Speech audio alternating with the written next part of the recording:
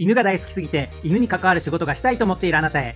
犬と関わる仕事がしたいと思っているならトップレベルの技術が手に入るドッグトレーナー犬訓練士を目指すのがおすすめ。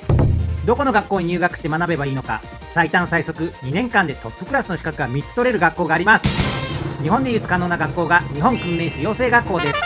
学校で指導している藤井聡先生はテレビやメディアなどではカリスマ訓練士と言われています。トップクラスのドッグトレーナー犬訓練士を目指せます。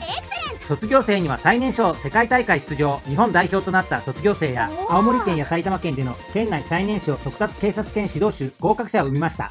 知らないとトップクラスのドッグトレーナー犬訓練士になるのに5年から10年以上かかるのも事実です。犬が好き動物が好き好きを活用して仕事にしたい。